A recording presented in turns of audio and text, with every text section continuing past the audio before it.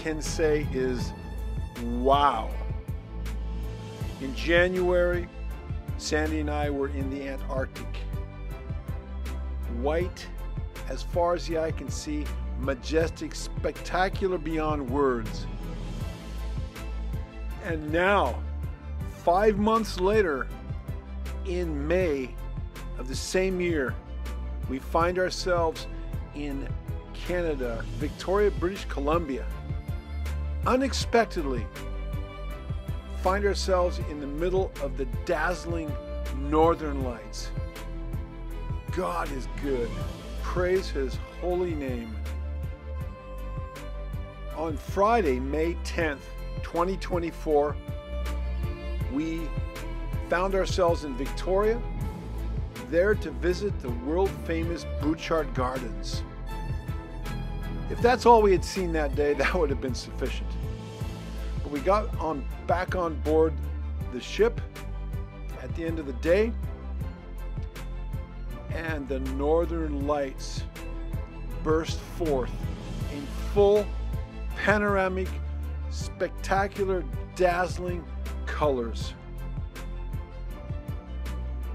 Sandi had been watching all of the reports about the northern lights, and we knew that there was a possibility that they would come down this far south.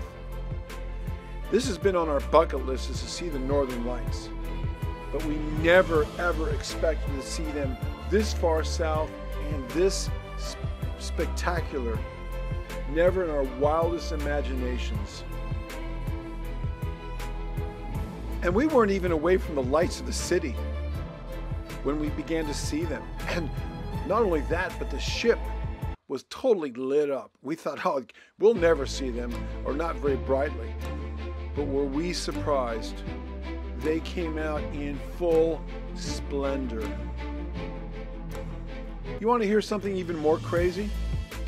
It was 11 o'clock. The ship hadn't even left port yet.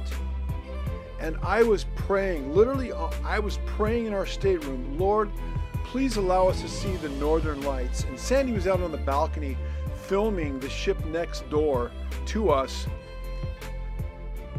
And all of a sudden she shouted, I see them, the northern lights, they're out. I had just finished praying that prayer. Is God good? Praise Jehovah Elohim. Thank you, Father. Thank you, thank you, thank you.